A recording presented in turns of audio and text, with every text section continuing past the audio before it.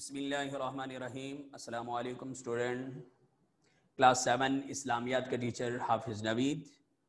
اور میرے بچوں، آج ہم لیکچر نمبر تھرٹی نائن کے ساتھ حاضر خدمت ہیں۔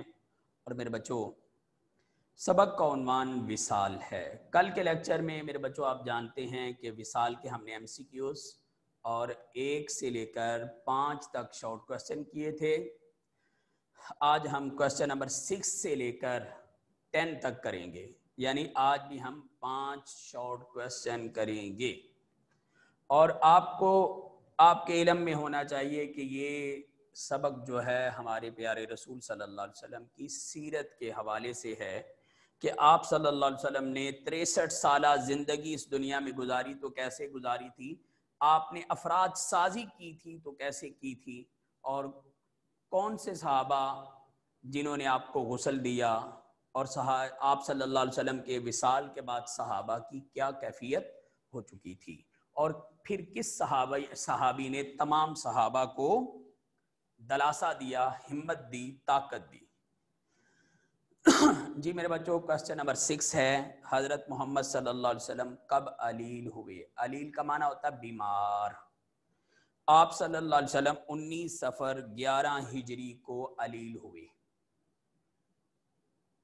کوشچن نمبر سیون حضرت محمد صلی اللہ علیہ وسلم نے باقی ازواج متحرات سے اجازت لے کر کہاں سکونت اختیار کی؟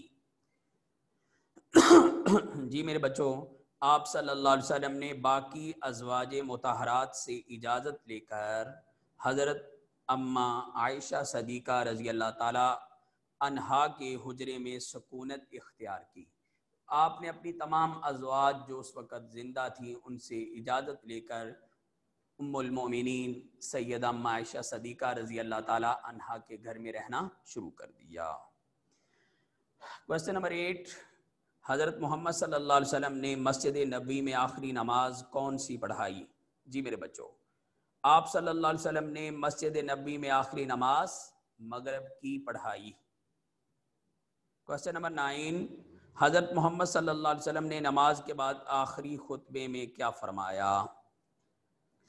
آپ صلی اللہ علیہ وسلم نے نماز کے بعد آخری خطبہ دیا اور فرمایا، اے لوگو، اگر کسی کا مجھ پر کوئی حق ہے تو مجھ سے لے لے۔ اگر کسی کا کوئی رائٹ مجھ پر ہے تو وہ اپنا رائٹ لے سکتا ہے۔ اگر میں نے کسی پر ظلم کیا ہے تو مجھ سے بدلہ لے لے یا معاف کر دے تاکہ میں اپنے رب کے پاس بالکل پاک ہو کر جاؤں۔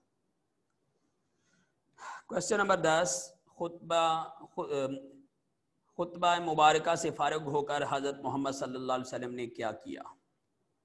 خطبہ مبارکہ سے فارغ ہو کر آپ صلی اللہ علیہ وسلم، حضرت سیدہ اما عائشہ صدیقہ رضی اللہ تعالی عنہا کے حجرے میں تشریف لائے۔